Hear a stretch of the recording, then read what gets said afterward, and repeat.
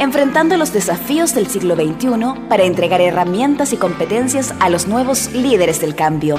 Grupo Impulso, aportando de las relaciones laborales de la organización moderna. Visítenos en grupoimpulso.cl. Contactos al 2269 64785.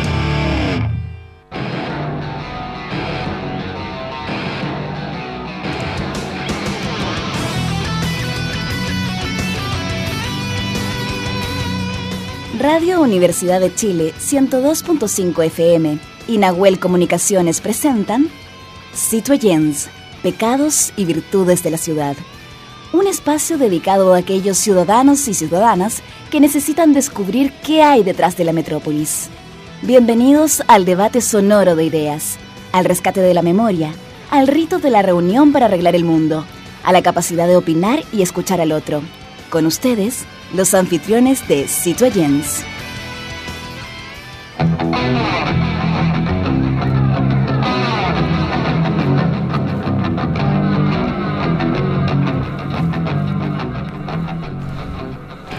Tres horas 34 minutos. El suave vaivén inicial lo puso en alerta. Se despertó cuando el terremoto recién comenzaba y en lugar de asustarse abusó los sentidos. Cuando el dormitorio comenzó a agitarse con furia, fue su mujer la que salió de la cama para poner a resguardo a los tres niños. Él no se alteró ni buscó refugio. A diferencia de los 12 millones de chilenos repartidos en seis regiones más pobladas del país que despertaron aterrados, Jorge Enríquez Cárcamo se puso de pie y contra todo lo que dicta el instinto de supervivencia, intentó medir la fuerza que descargaba la tierra. En esa madrugada del 27 de febrero de 2010, Enríquez era jefe de la Oficina Nacional de Emergencia ONEMI de la región de Biobío. En términos técnicos, lo que se conoce como un observador entrenado. En la oscuridad calibró el crujir de las construcciones, el corcoviar de los muebles y el estruendo de objetos que se estrellaban en el piso. Enríquez tomó el teléfono cuando la tierra aún descargaba latigazos y marcó el número de la ONEMI central en Santiago, Sabía que las comunicaciones colapsarían apenas el suelo volviera a calmarse. Le respondió uno de los tres funcionarios de turno en el centro de alerta temprana, el CAT de Lonevi. Pudo ser el jefe de turno Osvaldo Malfatti, el radiooperador Rafael López o el chofer Manuel Bravo. A la carrera Enrique reportó que el sismo era de intensidad 9 a 10 en la escala Mercalli. Del otro lado le indicaron que la información que tenían era que se trataba de un grado 7 Enrique se irritó y les dijo, mira conche tu madre, esto es un terremoto y es grado 9 a 10. Ese día, hace cinco años, 556 personas desaparecieron, dejaron de existir. De esa cantidad, 79 desaparecieron definitivamente. La Tierra manifestó su poder y nos dejó de rodillas, mostrándonos que no somos nada, mostrando que toda nuestra construcción eh, material, intelectual, de nada sirve cuando la tierra vibra, cuando la tierra tiembla. Familias enteras quedaron deshechas. Más allá de sus construcciones, fueron las familias, fueron las personas, fueron los ciudadanos los que padecieron ese gran movimiento. Chile no tiene terremotos, tiene megaterremotos. Y ese fue un megaterremoto. Desde entonces, han pasado cinco años. Y más allá de reconstrucciones materiales, sería bueno pensar si acaso nos hemos reconstruido de verdad. Se dice que somos un país sísmico, pero pareciera que lo único que hemos aprendido con todo ese tiempo es que cuando empieza a moverse la tierra, no hay que correr, los chilenos somos así. Los extranjeros nos miran y dicen, pero ¿cómo no se arrancan? No, no nos arrancamos porque somos de un país sísmico. Pero no tenemos ni fósforos, ni velas, ni comida, ni nada. La naturaleza hace lo suyo y nosotros nos quedamos impávidos, sin saber qué hacer, sin saber dónde ir. Y muchas veces, lamentablemente, quienes deberían estar más atentos en ayudarnos, en organizarnos, tampoco saben qué hacer. Cuando tiembla, todo se mueve. pero cuando la vida se apaga, nada la recupera. Esas familias que sufrieron la muerte de sus seres queridos, la desaparición de sus seres queridos, quedarán marcados a fuegos para el resto de sus vidas. Apenas, tal vez, el 3% de la población actual no sufrió ese terremoto, entre niños menores de 5 años y, gente que se murió en el entretanto de viejo o de enfermo. Eso fue el 27F, que hoy recordamos, pero recordando a aquellas personas que dejaron de existir y aquellas personas que perdieron personas. Y no solo personas. Cada ciudadano que se vio afectado por el terremoto, no solo se destruyó su vivienda, sino también destruyó su parte interna como persona. El no tener un techo, ese techo que tanto les costó poder construir, el tanto les costó poder formar como familia, se destruyeron, se cayeron a pedazos. Edificios que supuestamente cumplían con normas sísmicas, edificios, constructoras eh, que supuestamente construían bajo una norma en la cual a nosotros nos decían como futuros eh, propietarios, compren, ten seguros, estos edificios tienen máxima seguridad y pudimos ver cómo se desplomaban. Después, nadie nos ayudó, nadie nos pudo dar una mano. Hasta el día de hoy hay muchos ciudadanos, muchos vecinos, muchos eh, dueños de propiedades que hasta el día de hoy siguen sufriendo las consecuencias del 27F. El Estado, las instituciones, se olvidaron muchas veces de estas personas, de estos ciudadanos que hasta el día de hoy siguen peleando y golpeando puertas para que se les pueda dar una solución. Una solución no solamente desde el punto de vista material, no solamente desde el punto de vista de un techo, sino desde el punto de vista moral, sino desde el punto de vista psicológico. El que se te destruya algo que por tanto tiempo te, te costó poder tener es bastante complejo. Las autoridades hasta el día de hoy todavía no dan una solución concreta y definitiva a estos problemas de vivienda. No solamente gente de escasos recursos, sino también podemos hablar de, gente de clase media, de clase media, de gente del edificio de Concepción, que hasta el día de hoy todavía están con problemas de sus pagos, de sus créditos, de, de poder solucionar sus problemas. La gente de los departamentos de la comuna de Maipú, departamentos nuevos, departamentos que cumplían supuestamente con estándares en las cuales te decían a ti, compre, nosotros le estamos entregando seguridad. Hasta el día de hoy todavía no se resuelve. ¿Qué aprendimos entonces desde el 27F? ¿Qué aprendimos? ¿El Estado aprendió algo? ¿Los profesionales que estudian han hecho en cansados llamados para que se invierta en tecnología para poder estar más atento y que estas cosas no vuelvan a suceder. Llevamos cinco años. ¿Qué aprendimos del 27F? A continuación, el datito, el tips, el Emilio, el WhatsApp o el GPS de la agenda cultural. ¿Pa dónde va la micro?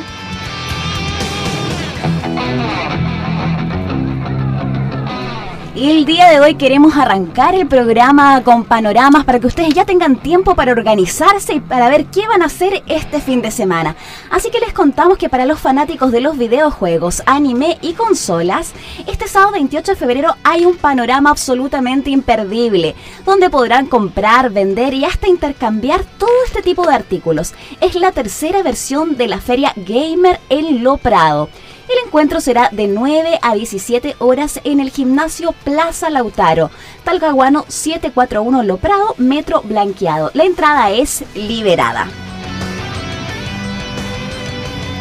Y por supuesto nos pueden faltar los panoramas al aire libre. Los fanáticos de los animales y los que deseen aprender más de su cuidado también tienen su lugar este fin de semana ya que este sábado 28 de febrero, o sea mañana, se realizará el primer festival de cuidado y tenencia responsable de mascotas. En este lugar podrás disfrutar de stand educativos, música en vivo, actividades deportivas, actividades por supuesto para mascotas y muchísimo más. La cita es este sábado 28 de febrero a partir de las 10 a.m. y hasta las 9 de la noche en Parque Bustamante. La entrada es gratuita, una actividad por supuesto para compartir con toda la familia.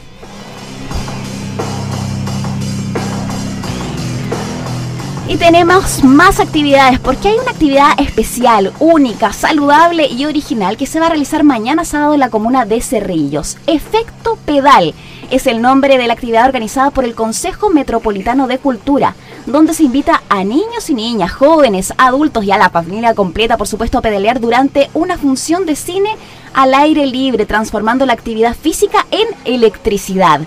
Fuerzas Especiales del director José Miguel Zúñiga es la cinta escogida que se proyectará en una pantalla inflable de 7 por 6 metros en calidad Full HD a través de la electricidad generada por el pedaleo de los espectadores. La actividad es gratuita, será mañana sábado 28 en Algüe, Teniente Luis Cruz Martínez, esquina 19 de agosto a las 21 horas.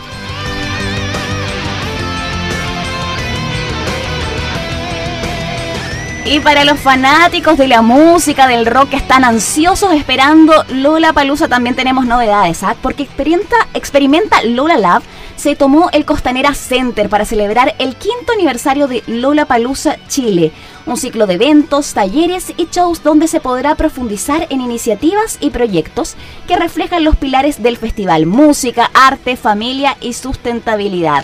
También podrás escuchar los playlists de Spotify con los artistas de Lola Palusa Chile. Sonar Vinilos está presente con vinilos, Blu-rays y tornamesas. Otros participantes son Marley Coffee y el Paseo de la Fama, que posee una galería con gigantografías e ilustraciones inspiradas en el cartel oficial de Lola Palusa 2015. Ilustraciones están a cargo de Masite Art Company. Todo esto en el quinto piso del Costanera Center. De 10 a 22 horas la entrada es liberada. Y para todos los que no pueden dejar de moverse y dejar de mover sus pies cada vez que escuchan una canción, también tenemos novedades. Porque si quieres despedir el verano bailando, te contamos que la fiesta hasta abajo tendrá una segunda edición en el Centro Arte Alameda, con dos pistas, dos pisos, dos barras, dos ambientes diferentes y cuatro DJs. Habrá ultra bailables hits de electro remis, sesión láser y LED, pantallas gigantes y videos. Los horarios desde las 23.45 horas. Entradas 2.000 pesos hasta la 1 de la mañana, 3.000 hasta las 2 de la mañana y la entrada general a 4.000 pesos. Fiesta para mayores de 18 años, así que ya saben todos los que quieren ir a bailar y a pasarlo bien. Y también actividades siempre para los más pequeños para cerrar este panorama de pa' dónde va la micro. En el mes de marzo, la Municipalidad de Providencia, a través del sistema de bibliotecas públicas, ofrecerá el taller infantil de vacaciones de verano Juguemos a contar cuentos. Se trata de un espacio para que niños y niñas mayores de 6 años aprendan a contar cuentos a través de diversos juegos y dinámicas que estarán a cargo del narrador oral, actor, docente e integrante de la Fundación Apalabrar, Carlos Acevedo. Cada sesión es independiente y se cierra en el día. ¿Dónde es esto?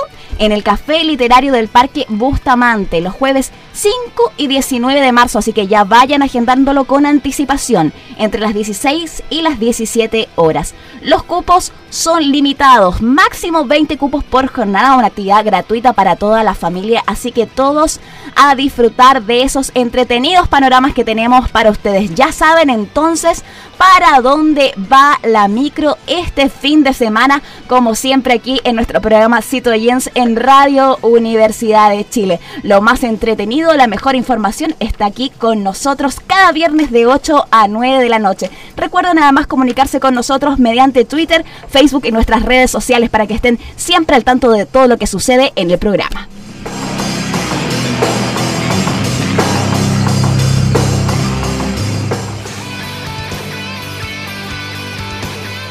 En la Plaza de Abasto todo puede suceder, porque es un lugar de encuentro con las ideas, los mundos y los personajes de la ciudad.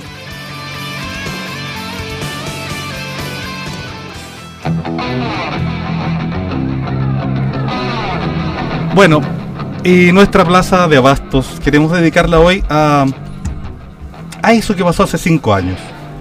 Pero quizá no a, hacer recuentos y hacer reclamaciones, y, porque muchas hay, mucho hay material de eso. Pero nos gustaría eh, poder contar las experiencias. Muchas veces las experiencias son, eh, claro, siempre propias, siempre individuales, siempre egoístas, pero cuando se comparten, muchas veces encontramos coincidencias en ellas. Eh, me gustaría, por ejemplo, Jaime, por ejemplo, Verónica, preguntarles en qué estaban. Casi, eh, bueno, es fácil de suponer que estaban durmiendo, pero a lo mejor estaban en el Festival de Viña, a lo mejor estaban en otro, lado, en otro lado, en, una, fi- vacaciones. en una fiesta de fin de, De verano. Era el fin de verano, estamos en el fin del verano. ¿Mm? ¿En qué estábamos? ¿En qué estabas tú, Jaime? Bueno, eh, tanto el año 85 como el año 2010 estábamos de vacaciones. Mm. Y era domingo, Ya. claro. La, la- la diferencia fue ciertamente La hora. El, el horario, solamente el horario. Y eso yo creo que evitó ciertamente el que en muchas oficinas públicas y en muchas empresas no hubiésemos tenido más eh, tragedias que lamentar. Ciertamente, eh, de una u otra manera. Y a pesar de aquello, yo creo que la gran lección, y, y- y- y retomo, recojo la pregunta de la Verónica, en el sentido que es lo que hemos aprendido. Es increíble que en un país que es un verdadero laboratorio natural de sismos, tengamos cinco especialistas. A mí me parece realmente increíble. O sea, es ridículo. Y eso da cuenta además de eh, eh, que no hay un desarrollo en esta materia como en otras materias respecto a vocaciones científicas. No se está trabajando el desarrollo de las vocaciones científicas. Yo creo que hay muchos chicos que no saben si es un geólogo, un sismólogo o es un ingeniero. ¿Quién es el experto en detectar, en estudiar, en seguir el tema? Y por otro lado, ¿qué hacen? ¿Qué hacen los lugares de estudio? ¿Qué hacen eh, los jardines infantiles, los colegios? Respecto, estamos esperando un próximo terremoto para reactivar estas famosas Pero y hay que considerar que Daisy. los mismos especialistas dicen que Chile tiene la capacidad técnica e intelectual de haber instalado y de haber descubierto una metodología después de lo que pasó del 27F, de haber instalado una metodología para producir, para predecir estos terremotos. Pero el problema está en los recursos, como siempre, los recursos. ¿Dónde están esos recursos? ¿Quiénes son los encargados de entregar esos recursos? Ellos afirman y aseguran que tienen esta tecnología, que la tecnología se puede comprar, se puede adquirir para poder generar y estar más atentos. Ejemplo, el tema de las boyas. ¿Ustedes sabían que las boyas hay que cambiarlas porque no están cumpliendo su función? Ah, Entonces hay que adquirir material tecnológico con la capacidad necesaria para poder por lo menos acercarse a algo o decir esto viene, porque en- lo importante de lo que dicen los científicos es que teniendo claro en los pocos segundos de haber ocurrido el, el terremoto, saber directamente en qué lugar fue, ellos van a poder dar mejores conclusiones a esto. Claro, y tiene que, y tiene que ver también con la educación de saber ah, de qué manera se producen. Sí. Hay variados tipos de sí. Entonces, hay ciertas señales que nosotros podemos ir aprendiendo. Debería ser obligatorio en la formación, desde la educación preescolar, el saber los tipos y por qué estas placas, cada cierto tiempo, se desplazan. Algunas las percibimos, otras no las percibimos. Y que ahí está la duda de si son más peligrosas. Imagínate que tenemos terremotos silenciosos. Yo no sabía que teníamos terremotos silenciosos. O sea, de qué, o sea, ¿cómo sabemos que está temblando? Imagínate si este terremoto silencioso, ¿qué pasa si está cerca de eh, la costa? ¿Se va a generar un tsunami? ¿Qué, qué nos avisa a nosotros el tema de- de- del tsunami? Porque supuestamente si estamos en la costa, nos estamos bañando en la playita, ¿cierto? Ahora que estamos en verano. Ajá. Y sentimos que nuestra tierra se mueve. ¿Qué tenemos que hacer? Porque ya nos enseñaron todos los medios, estuvimos casi más de do- dos o tres meses eh, dándonos instrucciones qué hacer en caso de. ¿Qué teníamos que hacer? Correr a los lugares de seguridad, pero porque podía en algún minuto generarse un tsunami, porque teníamos un tiempo para poder salir de ahí, ¿cierto? Pero, ¿qué pasa ahora? Nosotros recién, después del 27F, yo creo que estamos más educados en relación al tema de los terremotos, pero tuvo que pasar este mega terremoto para que la ciudadanía lograra entender qué es lo que tenemos que hacer. Correcto. Bueno, vamos a, a ir al, al raconto, a esa sección que tanto le gusta a Marco. Vamos a recordar un poco qué ha pasado en estos últimos 150 años con la ciencia y la tecnología en nuestro país. Así es que vamos a nuestra cortina de lo que el Mapocho se llevó. ¿Cómo eran ¿Quién las hizo o las importó? ¿Para qué servían y dónde estaban ubicadas aquellas cosas y lugares que le dieron vida a la ciudad y que ya no existen? Que el tiempo simplemente las borró de la memoria ciudadana. Recordemos entonces lo que el Mapocho se llevó.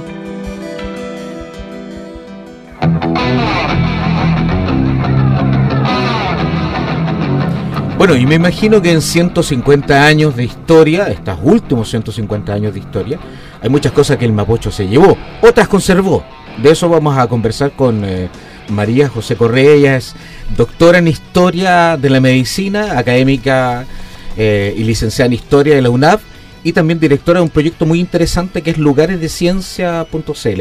María José, buenas noches y bienvenida. Buenas noches, gracias por la invitación. Lo, primero que surge eh, y que tiene que ver con parte de nuestra editorial, María José, que es hacer un, un raconto de, de aquellos eh, personajes, de aquellos lugares que han sido parte de este patrimonio, esta memoria emotiva, este, este inconsciente colectivo que se va generando en el tiempo. Eh, ¿Cómo se genera el caso de ustedes? Es un equipo multidisciplinario que tiene la idea a través de un proyecto, ¿no es cierto?, que ustedes presentan a CONICI, tengo entendido, el programa Explora, y que logran dar cuenta en, áreas muy eh, interesantes como energía, transporte, telecomunicaciones, eh, salud, ¿no es cierto?, de aquello que marcó parte del desarrollo y que sigue marcando el desarrollo de nuestro país. ¿Cómo se genera esta idea en este, en este grupo de profesionales? Bueno, este proyecto surge yo creo que por 12 motivos. Una, motivación importante es eh, el interés de mostrar el patrimonio científico que tiene la ciudad de Santiago, un patrimonio que no ha sido normalmente destacado, ni valorado, ni, tampoco identificado. Y, y, otra línea tiene que ver con utilizar ese patrimonio como una herramienta educativa para acercarnos a algunos aspectos de la historia de la ciencia y de la tecnología en, en Chile y en Santiago en particular. Eh, es un proyecto que surge de este grupo interdisciplinario, surge también porque mis intereses tienen que ver con la historia de la tecnología y de la ciencia, eh, y, en el fondo también porque en Santiago hay una serie de lugares que están ahí, que en el fondo todavía el Mapocho no se ha llevado, otros se los llevó, pero están ahí y algunos siguen funcionando. Entonces... Por ejemplo, ¿qué áreas cubren ustedes? ¿Este proyecto en qué áreas se, se centra? Nosotros eh, armamos, identificamos 31 lugares de ciencia que los incorporamos en un sitio web. Ahí identificamos más, pero esos son los 31 que quedaron por varias razones editoriales. Eh, esos 31 lugares se, se, organizan en torno a seis ejes, que son el eje de energía, comunicaciones, transporte, salud, industria y territorio. Eh, son seis áreas del saber científico, de la tecnología que eh, en cierto sentido inventamos. Algunos corresponden más como salud, otros territorios son más de fantasía, si se quiere, para aunar bajo esos títulos eh, lugares y saberes eh, y, nuevas tecnologías que están aplicando. Eh, lugares tan variados como centrales hidroeléctricas, centrales de transmisión, observatorios astronómicos, centrales de comunicaciones telefónicas, hospitales, casas de reposo para tuberculoso, maestranzas de tranvía. Eh, y esos son lugares que están en la ciudad y bueno, y también nos, ampliamos alrededores como el Cajón del Maipo para poder incorporar las centrales hidroeléctricas, que hoy ya están dentro de la ciudad, porque la Florida es parte de Santiago. Claro.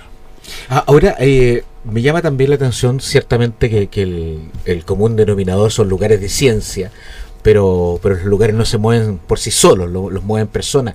Esta importancia que le da el Estado, ¿no es cierto?, a partir del siglo XIX, respecto de eh, una emergencia importante de científicos, de ilustres personajes que llegan a nuestro país a cambiar los destinos de la ciencia, de la investigación, de la academia, en definitiva, y que están presentes en el historial de ustedes. Eh, sí, bueno, eso también es una mirada diferente, yo diría, que tiene este sitio, que reconoce el valor del, y el aporte de científicos connotados y tradicionales que ha reconocido la historiografía, pero también quiere poner en valor el trabajo de, los, de las personas que, que se desempeñaron en esos lugares, desde los médicos hasta los usuarios, desde los obreros hasta quienes trabajan en la maestranza, porque en el fondo también eh, se ha criticado o se ha denostado la historiografía científica del país diciendo que verdad nosotros no hemos sido líderes eh, en, la producción tecnológica y científica. Bueno, eso se puede discutir, pero en términos generales, eh, Santiago claramente no, no va a destacar en todas las áreas del saber científico. Eh, pero eso no es razón para que nosotros no veamos espacios de producción científica en el ámbito de la farmacología, en el ámbito de la, del, del, manejo del hierro, eh, etcétera, como las fundiciones, eh, las maestranzas. Mm. Entonces eh, es más democrático también el sitio, no apunta solamente a, a, a, valorizar esos espacios tradicionales como la academia. Por ejemplo, no hay universidades que las podríamos haber considerado. Claro. lo más cercano a la universidad tiene que ver con los espacios de salud que se organizaron en torno a la universidad. Con lo que tú cuentas yo me acuerdo de algo, de cuando era chico eh, y en mi barrio, eh, por la calle Unión Latinoamericana, entre que Grajales y Toesca más o menos, había una suerte de central eléctrica que a mí me llamaba muchísimo la atención porque eran grandes generadores negros y habían operarios que pasaban para allá y para acá y, tenía una estructura muy especial dentro de lo que eran las casas. Eh, al lado estaban las casas, pero esto era como una, como una fábrica y, cuando chico yo pasé por ahí, pregunté, entré y pregunté, me habían metido y me dijeron, no, aquí fabricamos electricidad. Eh, ¿Qué lugares, por ejemplo, pensando en el alumbrado público, en la electricidad domiciliaria, eh, hay todavía en Santiago que uno de repente pasa por el lado y ni siquiera sabe que allí se hizo electricidad? Bueno, hay lugares preciosos que están en funcionamiento todavía, como la subestación eléctrica San Cristóbal, que es una central de, de, transmisión, que está a los pies del San Cristóbal y que se inaugura también en conjunto con el parque y con el funicular. Entonces se crea todo un polo de atracción turística y desarrollo industrial y que va a permitir que funcione el ferrocarril Santiago Valparaíso, también la central eh, eléctrica Mapocho, que también hoy día está funcionando, no tengo bien claro qué función cumple, pero está en operaciones y está muy cerca de lo que era la maestranza de tranvías y que se forma para darle apoyo al, nuevo sistema de transporte eléctrico de tranvías que va a reemplazar a los caballos de sangre, a, los carros de sangre. Los carros de sangre. Y eso está a dos cuadras de em, los anticuarios de Brasil. Y los anticuarios de Brasil era donde estaba la maestranza de, de tranvía. Esto, estos lugares de ciencia tan antiguos, ¿qué, ¿Qué nos sirven a nosotros ahora? ¿De qué podemos recuperar? ¿Qué podemos extraer de eso? que podamos aprender ahora de eso, del pasado? Bueno, yo creo que tienen varias, varias líneas.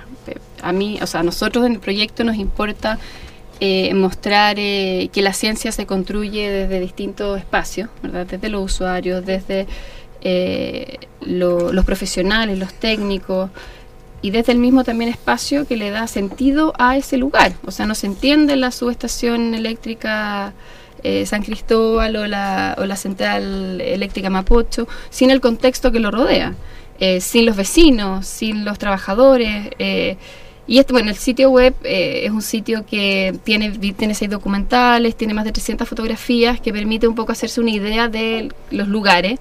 Unos, unos cumplen más lo que esperábamos, ¿verdad? Porque también depende del archivo disponible. Hay lugares que no pudimos incorporar porque no contábamos con fotografía. Y esto, a, través de esta misma herramienta, eh, eh, ¿De qué forma podemos motivar a los jóvenes que hoy en día están terminando su educación eh, superior, o sea, su educación media y que van a entrar a educación superior o que les motive a seguir el estudio de la ciencia? ¿Cómo, cómo ustedes podemos hacer ese vínculo? ¿Cómo ustedes pueden hacer ese llamado a que los jóvenes se interesen por estudiar este tipo de, de, estudios?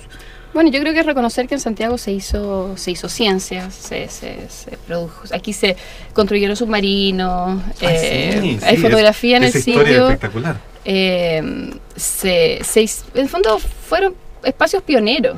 El observatorio del Santa Lucía fue el primer observatorio de América del Sur. Entonces tenemos una historia científica que, que, no ha sido suficientemente levantada y eso incide en, en las ganas y en el reconocimiento. Y eso está dentro de la historia de nuestro país. ¿Por qué dentro de, si está dentro de la historia de nuestro país, por qué eso no se ha difundido en, la, en las aulas, en las salas de clase? ¿Por qué los profesores de historia, para tratar de hacer la, la historia un poco más entretenida, ¿cierto? Que sean más didácticas las clases, ¿por qué no se habla de, de esto? Y que a través de estos ejemplos puedan plasmar la historia de Chile.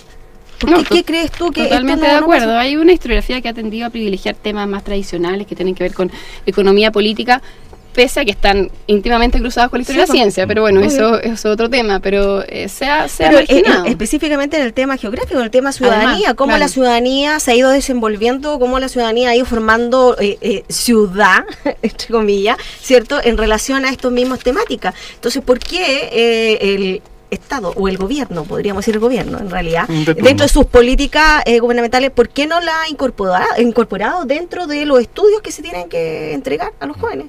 Sí, eso es una deuda pendiente y es algo por hacer y, bueno, por, en los últimos años se está, se está moviendo más hacia esa dirección. Ahora, María José, una de las cosas que me llama la atención, por ejemplo, uno de los acápites que ustedes tienen acá eh, tiene que ver con la industria, cómo se van desarrollando las primeras industrias en nuestra ciudad, pero, pero eso además provoca lo que tú decías al principio, son, son eh, eh, esa producción de efectos colaterales. Eh, eso significa generar nuevos barrios, los territorios van cambiando y si los territorios cambian, el transporte para que las personas se desplacen a los lugares a trabajar o los mataderos, las estaciones, van cambiando justamente la relación transporte, la relación industria y la relación obviamente desarrollo urbano. ¿Cómo miras eso en un siglo además que que se empieza a vislumbrar. Aquí ustedes tienen eh, entre 1850 y 1940 se levantan las primeras fábricas. Fuimos pioneros también en términos textiles, hasta que llegó, ¿no es cierto?, el tema de las importaciones textiles. Bueno, el sitio trata de mostrar esos vínculos em, entre los distintos ejes. Ya no estamos hablando de un eje industria que se desarrolla aislado de ni de aspectos sociales, ni políticos, ni culturales, y tampoco de las otras tecnologías y ciencias que están en desarrollo. Eh, y en los textos, en el fondo, nosotros tratamos, de hacer esos vínculos, ¿verdad? De mostrar, por ejemplo, cómo, no sé, los puentes del río Mapocho, que, que nosotros los identificamos como lugares de ciencia, que son puentes que se mandaron a hacer a Francia, se, se, ensamblaron en Chile, eh, y que están ahí, ¿verdad? Uno pasa todos los días por ellos y no, no hay mayor conciencia de que son lugares patrimoniales. ¿Qué puentes, por ejemplo? El puente eh, Loreto. Tenemos el puente mm, Purísima eh, y el puente 21 de Mayo. Son puentes que están en el fondo, que se crearon para tratar de eh, organizar esa ciudad inmunda, sucia, esas orillas distanciadas, la chimba, con el, con con el Santiago más, más, oficial. Eh, y que se van a vincular también con el desarrollo de los transportes, el, desarrollo de las líneas de tranvía, el desarrollo de las industrias. Por ejemplo, en la Chimba, Ebner levanta su fábrica, compra una fábrica de cerveza y, se construye en una, se transforma en uno de los industriales más importantes en el ámbito de la, de la cervecería. Él va a ser el que va a introducir la bebida Bills, el que va a, va a tener derecho de, exclusividad para la primera máquina para hacer hielo. Em, entonces está, todo vinculado en el fondo. Y también a nosotros nos interesa, eh, así como consideramos al Estado como un, un, un, motor y un actor importante en este desarrollo, mostrar el trabajo de, de los particulares, de los, de los privados, de, de estos aventureros también que se que, innovaron. ¿Y otros lugares de ciencia que no sean solamente acá en Santiago, Valparaíso, Concepción? Bueno, hay muchos más, hay más, o sea, en, Valparaíso hay centrales hidroeléctricas. Nosotros por un tema de, acotarnos a un espacio eh, nos centramos en Santiago. Ahora el proyecto tiene todas las ganas de seguir creciendo. Este es un sitio estático, o sea, se hizo, se cerró, eso es pero el proyecto tiene las ganas de seguir creciendo, involucrando otros sectores de otras ciudades y también el, país entero. Otra cosa que me llama también la atención, María José, es que eh, sigo con el tema de, de los barrios. Por ejemplo, nosotros en el primer programa dedicamos ah, un espacio, unos, primeros minutos, ¿te acuerdas tú? Al barrio Huemul, que a mí me parece emblemático. Eh, o, poblaciones o villas, ¿no es cierto?, como la Juan Antonio Río, la Villa Olímpica, ¿no es cierto? La Jaime Zaguirre, la Frey, la Frey, ¿te fijas? Que siguen siendo emblemáticas de un sistema de un desarrollo urbano para la convivencia comunitaria. Uno ve, pasa por la Avenida Grecia y ve ese tremendo parque en el cual las familias todavía pueden seguir disfrutando de esos espacios. Y eso fue pensado para una relación entre la instalación de estas primeras fábricas, ¿no es cierto? Eh, la mayoría de inmigrantes extranjeros, eh, luego la instalación de servicios alrededor de esa, de esa villa. Había colegio, había iglesia, había plaza, etcétera. Había sistema de correo. O sea, había un, un, un, sentido, a mi juicio, de dignidad respecto a los obreros, los trabajadores que, que, tenían que trasladarse o tenían que trabajar en esos, esos lugares. ¿Qué, qué, qué relevancia descubren ustedes en esta investigación respecto al desarrollo urbano? Sí, bueno, eso es algo que se patenta y se manifiesta en, algunos espacios. Eh, por, por, ejemplo, la fábrica de gas. Esos son espacios que son casi pequeñas ciudades. Está la fábrica con sus alrededores. ¿Cuál? el, eh, gasómetro. La, sí, lo conocemos ya. sí, el gasómetro. Eh, que hoy día sigue funcionando en la misma línea. Es una empresa privada, pero sigue, sigue, sigue funcionando como vinculada al gas. eh, ahí vemos todo un desarrollo eh, urbano vinculado al sistema industrial. Eh, también vemos algo similar en relación a la, a la, a la estación central o la antigua estación Alameda. Que, que de, de otra forma, ¿verdad? Porque no es un polo industrial No. el que lo motiva, pero sí es, son los mismos usuarios y, y la densidad habitacional que hace que, que- que surja un espacio diferente al que existía, que se cambie, ¿verdad? Esa- ese tono rural por un tono mucho más urbano y, y que los sonidos, que también es algo que a nosotros nos interesa mostrar en la página, eh, que, que todos estos cambios vienen acompañados de nuevos olores, nuevos sonidos, que tampoco son los que para nosotros hoy representa la industrialización. Por ejemplo, en la, en la fábrica, no, en la mm, estación eléctrica Mapocho, hay una publicidad bien, bien bonita de la, de la estación, que está, está en la página en una foto, y, y aparece un humo, ne- un humo negro detrás, pero con una connotación muy positiva. Es un sinónimo de, de modernidad, de De avance, de progreso, de desarrollo. Hoy algo que para nosotros es ¿verdad? Sí. totalmente no deseable. Sí, y bueno, como nosotros estamos además desde el mundo de las comunicaciones, también hay que preguntarle a María José, ¿qué pasa en esta área tan específica que ustedes le dedican a, a las comunicaciones, la- la- el primer periódico, la primera radio, eh, que, que es tremendamente interesante? Y, y nosotros, por La eso que estamos- fotografía. la fotografía. Cuando etcétera. llegó la fotografía por primera vez a Valparaíso, ¿cierto? Y después se instaló en la Plaza de Armas. Ahí se instaló el primer local justamente de, de fotógrafos. Entonces eso también sería interesante porque la fotografía ha sido parte de nuestra historia desde el punto de vista de la prensa. Sí, nosotros no quisimos dejar afuera eh, un área que quizás eh, a primera vista no parecía tan potente en comparación con la industria, con, como con todo ese olor y movimiento de, de las nuevas energías. Pero, pero son otras energías que tienen que ver con la comunicación y con, el, y con la vinculación de la, de la sociedad y que son posibles gracias a los cambios energéticos. O sea, el teléfono nos explica, eh, eh, la- los cambios en la prensa tampoco se explican sin los procesos industriales y tecnológicos que se van a generar en paralelo. Eh, incorporamos el correo central, el diario ilustrado, que es uno de los primeros eh, periódicos en, en imprimir fotografía. Eh, la central de compañía de teléfonos, que es un lugar, ese es el lugar más perdido que tenemos en los lugares de ciencia, un lugar que no encontramos muy poca información, pero era una de las primeras centrales telefónicas eh, para comunicar a... Y que además nosotros en nuestra página web la pusimos como imagen para, para tu presencia Ah, hoy qué día. bien, qué bien. Así que nos pareció, además, en esta relación entre las telefonistas que están llenas de Claro. cables, Ah, unas, bueno, sí. unas cajas inmensas, y estos celulares que hoy día tenemos, ¿no es cierto?, que nos acompañan sin cables. Famosos Por En mucho tiempo también fue destacado el tema de la- en las comunicaciones, fue el telégrafo. Por cierto. ¿sí? Sí, el telégrafo está vinculado, nosotros vinculado. hablamos del telégrafo en el correo, porque en el fondo era la misma Me acordé que porque mi papá, cargo. Mandaba yo creo que telegramas. está- sí, mi papá trabajó en, su Sí. juventud. Sí. Sí, por supuesto. Oye, Sí. a propósito de, de- de- de este asunto, entonces, si hiciéramos una proyección futura eh, y tú siguieras en esto, o sigue el trabajo este del sitio, eh, por ejemplo, la Torre Entel estaría dentro de... Si, nos, si cambiamos, a, nos movemos un poco en el tiempo, porque nosotros pusimos como límite 1950, Ajá. sí, también el metro era también algo que a nosotros nos interesaba incorporar, Ya. pero bueno, lo dejamos fuera por, por, por tiempo, o sea, por el, el espacio, el marco temporal. La Torrentel, el, el metro serían lugares interesantes a considerar. Eh, hay varios, hay, hay muchos lugares de tecnología y ciencia reciente que, que pasan, yo creo que más, más inadvertidos.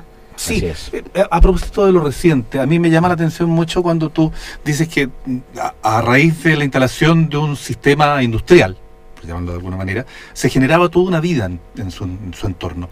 Pero- porque había una suerte de organicidad como la que plantea Jaime. O sea, esta cosa se hace para que funcione, para que la gente tenga dónde estudiar, dónde comprar, no, pueda, no tenga que viajar mucho para llegar a trabajar.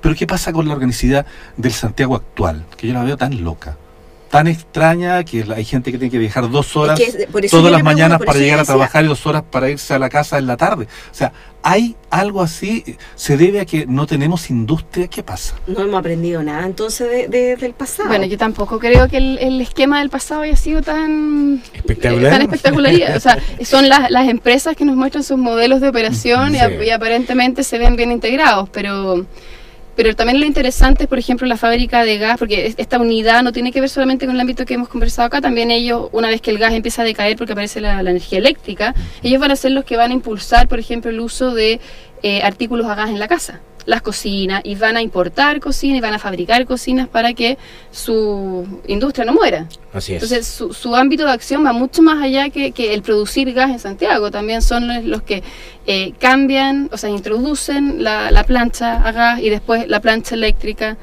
eh, tratando de respaldar el negocio. Bueno, vamos a seguir conversando con María José Correa, eh, directora de este proyecto Lugares de Ciencia. Vamos a ir a un tema musical que nos ha preparado este Big Band de la ciudad. Vamos a ponerle un poco de música y después seguimos conversando porque nos quedan varios temas bien interesantes. ¿eh? La Quinta Normal, que fue un hito dentro del tema, el tema de la salud, los hospitales, los primeros, la- las primeras leyes de salubridad, etcétera. Así que vamos a esta pausa musical y volvemos. Hola amigos de Citoyens y la Radio Universidad de Chile. Soy Sebastián Tati Salas, músico percusionista de la banda Tricahue, conformada hace ya 15 años en la ciudad de Santiago. Les queremos invitar a escuchar nuestro tema Son 4, lo mató, de nuestro último disco Viajeros 1. Un saludo cordial a todos y goza con el sabor de Tricahue.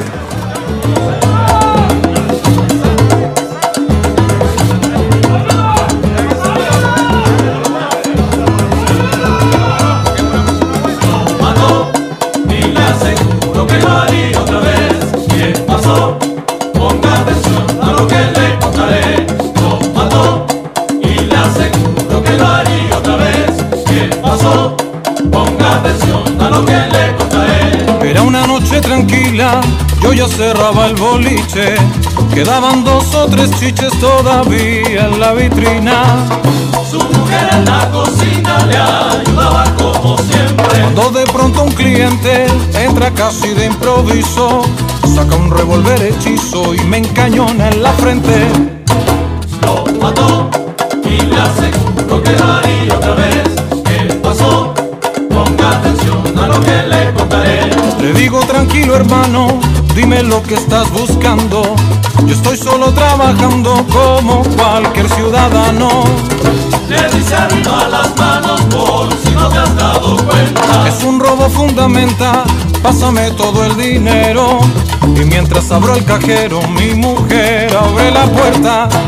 Lo mató y le aseguro que lo haría otra vez. ¿Qué pasó?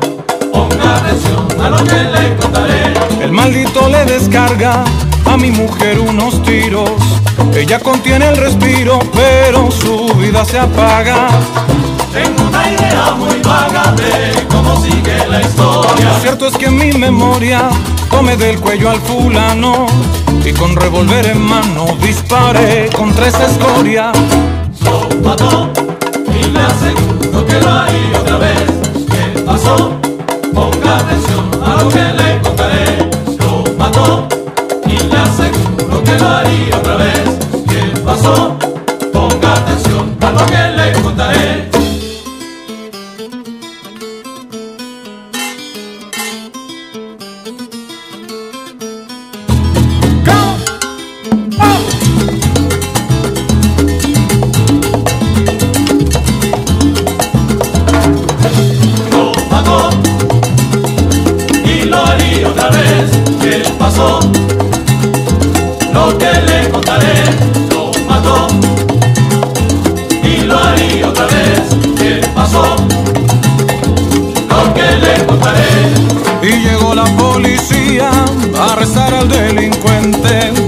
Mató supuestamente con maldad y alevosía. Lo mató Sí, señor, y lo haría otra vez.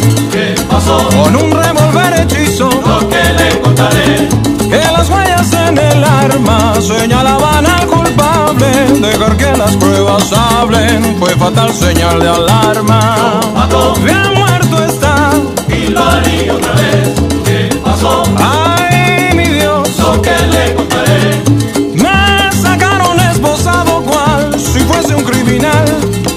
Para llevarme al tribunal por matar a un desgraciado. y lo haría otra vez. ¿Qué pasó? Ay vida, ¿qué pasó? Lo que le contaré.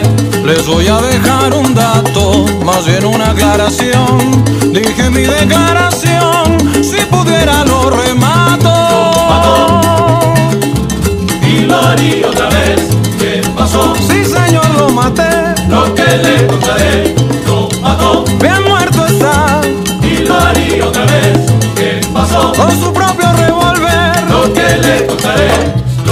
pasó? Y me hace lo que lo haría otra vez. ¿Qué pasó? Ponga atención a lo que le contaré. Lo mató y me aseguro que lo haría otra vez. ¿Qué pasó? Ponga atención.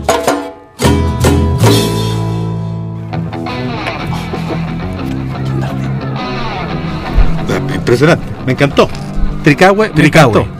Lo mató. Lo mató. No, no, fantástico. Sí. No, me, encanta esa música. Bueno, hemos Yo- tenido en estos cuatro, Cuatro viernes de febrero, y esto hay que destacarle a la Mónica González que hizo toda la producción de buscar los grupos emergentes musicales para poder mostrar eh, que, que hay chilenos y chilenas que, que están Y haciendo vuelvo a buena hacer música. la invitación para los nuestros artistas nacionales que no tienen algún lugar donde eh, dar a conocer su trabajo, que se comuniquen con nuestra productora para que puedan salir al aire en nuestro programa. Así que dejo la invitación hecha. Sí. Estamos con María José Correa, ella es directora del proyecto Lugares de Ciencia y estamos recorriendo un poco estos últimos 150 años en que en diversas áreas eh, Chile ha tenido que levantarse, ha tenido que instalarse o reinstalarse. En el caso de la ciudad de Santiago, que es específicamente el proyecto que ellos diseñan. Y aquí hay un tema eh, que tiene que ver con, hoy día lo vemos juntos, Ujú. que es Museo y, y la Quinta Normal. Ah, claro. Pero, pero que en algún momento, ¿no es cierto?, este Museo Nacional de Historia Natural fue una necesidad para el Estado, eh, lo construye, y porque ahí además es un lugar donde se hace investigación junto con, la, con las muestras. Detrás de un museo hay, hay, hay un trabajo científico. Y lo que significó también la creación, María José, de la Quinta Normal de Agricultura, textualmente como, como, como se llama, en 1841. ¿Qué significó esta, esta Quinta Normal de Agricultura? Bueno, este fue uno de los espacios más significativos porque aunó una serie de, de- de instituciones. El museo llega a ese lugar después de varias décadas de, de haber sido creado. Se crea en la década del 30 y ocupa el espacio que ocupó la exposición internacional de 1800, que se, termina en 1876. Eh, por lo tanto, viene también a simbolizar, viene a unir esa relación entre industria, museo, patrimonio, historia, eh, y viene a apostar por un Chile que buscaba ¿verdad? crecer y, y- e instalarse eh, en todo ámbito. Eh, la Quinta Normal fue un espacio de experimentación, fue un espacio de estudios meteorológicos, fue un espacio eh, también que eh, incorporó algunos eh, temas astronómicos. Cerca de la Quinta Normal se encontraba, o sea, al lado de la Quinta Normal, la Escuela de Artes y Oficios, donde se, se- levanta esta idea de educar a través de la práctica para promover a los futuros técnicos del país, bueno, técnicos entre comillas. Em, pero es un espacio que mezcla de una forma bien interesante eh, los distintos aspectos que se están desarrollando en, eso, en ese tiempo. Em, y también implica como un límite, ¿verdad? Alrededor de ella vamos a ver lo- las líneas de tranvía, vamos a ver muy cerca la estación eléctrica Mapocho, o sea, ese va a ser, un, yo diría que un polo de desarrollo súper potente junto con el polo que se arma cerca de la, de la estación central. Y en materia de salud, María José, también me llama mucho la atención que ustedes además le dedican un, un- un área específica y estos dos hospitales que significaron el génesis, al parecer, de, de lo que podríamos denominar como la asistencia sanitaria, el Hospital San Juan de Dios y el Hospital San Borja, que fueron claves en, el- en los inicios del desarrollo de una política de salubridad o de salud pública. Sí, nosotros lamentablemente tuvimos que optar, bueno, no lamentablemente porque sería denostar al, al Hospital del Salvador, pero tuvimos que optar por aquellos espacios de los cuales tuviéramos registros visuales, por un tema editorial de la- del sitio web. Por lo tanto, tuvimos que dejar de lado algunos que eh, tenían más trayectoria. Tratamos en el eje salud de mostrar distintos aspectos del desarrollo de la medicina. No solamente el tema hospitalario tradicional, como sería el Hospital El Salvador o, o San Borja, eh, sino que mostrar, por ejemplo, los sanatorios cordilleranos, que, se- que son sanatorios, ¿verdad?, que, que rescatan la particularidad de, de la- del- de Chile, de la región metropolitana, de la cordillera de los Andes, que no es algo, ¿verdad?, compartido por todos los espacios, por otros países.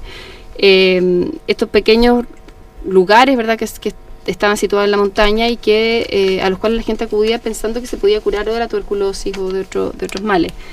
Eh, también nos interesó mostrar el Instituto de Higiene. A mí el Instituto de Higiene es un lugar que me, me gusta mucho. Eh, también es un tema que yo trabajo en mis investigaciones, entonces me parece sumamente atractivo. Es un espacio que se crea en 1892, que viene a regular esta ciudad que así como crece y se industrializa, se ensucia. Se ensucia y, y la gente, y la- la- la- las comunidades se juntan, lo- los bichos se transmiten, eh, los alimentos se falsifican, se, se contaminan, las personas se envenenan, o sea, son temáticas súper potentes en esa época. Y este espacio se construye como el espacio de control, de supervisión, en la chimba, ¿verdad? En el sector también más sucio, entre comillas, de la ciudad. Y ellos tienen, vienen a, a ejercer funciones de estadística, de higiene, generan vacunas, eh, hacen análisis anatómico, toxicológico. Entonces es un espacio de investigación criminal y, y también de investigación de los nuevos microbios que empiezan a, ser identificados. En ese periodo de la, donde se empieza a saber que las enfermedades tienen relación con estos pequeños seres microscópicos que, que circulan y no por miasmas o mal de ojo y, otro, y otras razones. Yo tengo una, una, una consulta. Hace un momento hablaste de los trenes. Eh, usted ha logrado determinar, para los que no sabíamos, que había una red de trenes en Santiago. Y bien específico, con lugares y con estaciones bien, bien puntuales. Por ejemplo, ¿cuáles serían eso? Sí, mira, la red no la hicimos, o sea, no, no hicimos un estudio de red de. Pero sí de la, la han mencionado. Sí, mencionamos algunos lugares y mencionamos también la- la- las estaciones. Eh, eh, bueno, la estación central, la, que- la ex estación Alameda y la estación Mapocho son las estaciones que perduran en el centro y que, y que nosotros quisimos reconocer.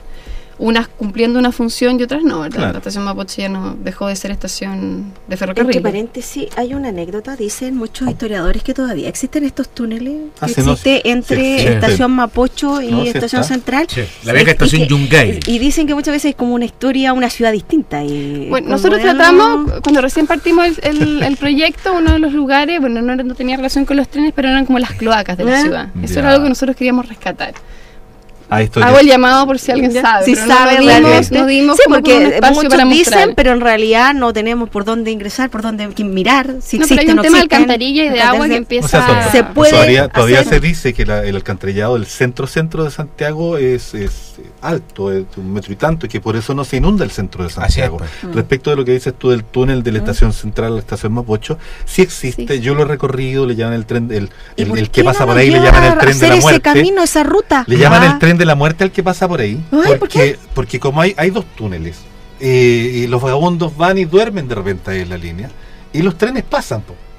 y pasan y se echan como a tres ciudadanos por año. Mm. Y la cosa funciona hace más de 100 años, o sea, han matado más de 300 personas ahí, por accidente. Exactamente.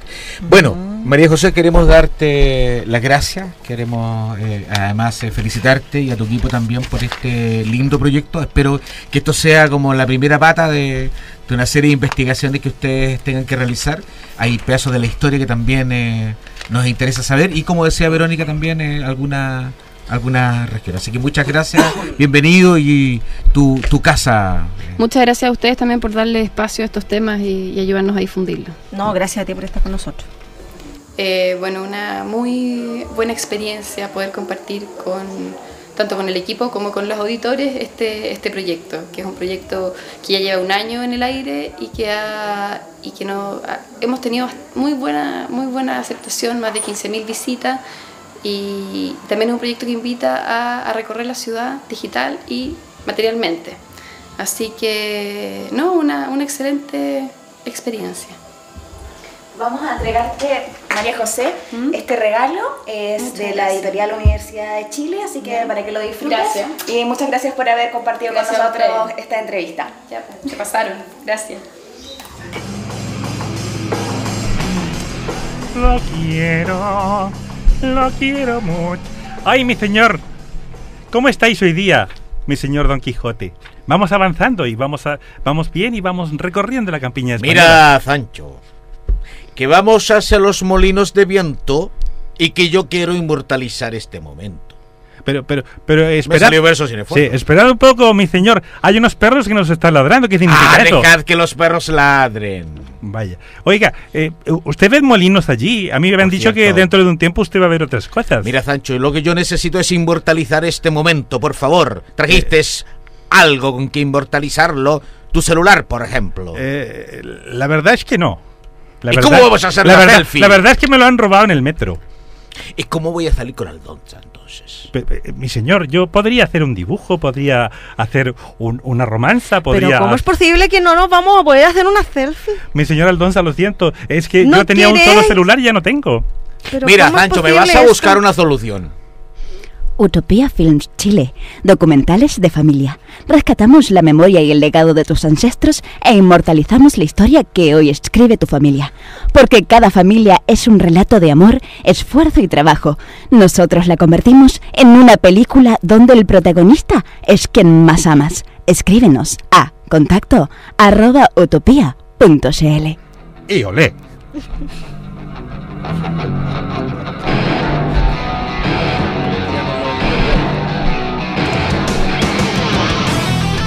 Bueno, y también eh, tenemos que dar cuenta de Editorial Radio Universidad de Chile, que le ha entregado a nuestra invitada María José un, eh, un hermoso texto, ahí lo tenemos, ¿no es cierto? Justamente para compartirlo, son más de 40 publicaciones, Verónica, Marco, Mónica, que, que tiene nuestra editorial de Radio Universidad de Chile. Así que los invitamos a compartir. eh, el texto de hoy es... Relatos y apuntes de Cristian Fierro Correa. Y has quedado gallego. has quedado Has quedado el gallego y es hora Mi señor, de que se me ha pegado el acento. Es Hay que despedirse lo de los auditores. lo quiero Hemos dejado febrero y nos empezamos a encaramar en marzo. Así es. Así es que nos encontramos el próximo viernes a eso a las 20 horas con nuestros invitados y nuestras invitadas. Se van o se Gracias a van. todos. Chao, Gracias. chao. Nos encontramos el próximo viernes. Hasta Adiós. marzo, chao.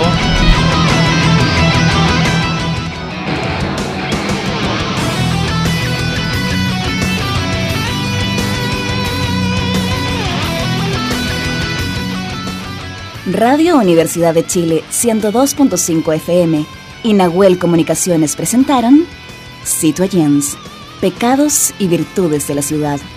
Un espacio dedicado a los ciudadanos y ciudadanas que necesitan descubrir y explorar qué hay detrás de la metrópolis. Nos volveremos a encontrar la próxima semana en algún lugar de la ciudad.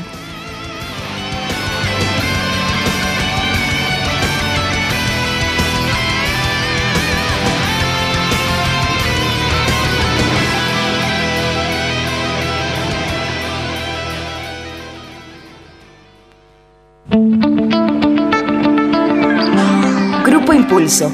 Enfrentando los desafíos del siglo XXI para entregar herramientas y competencias a los nuevos líderes del cambio. Grupo Impulso. Aportando de las relaciones laborales de la organización moderna.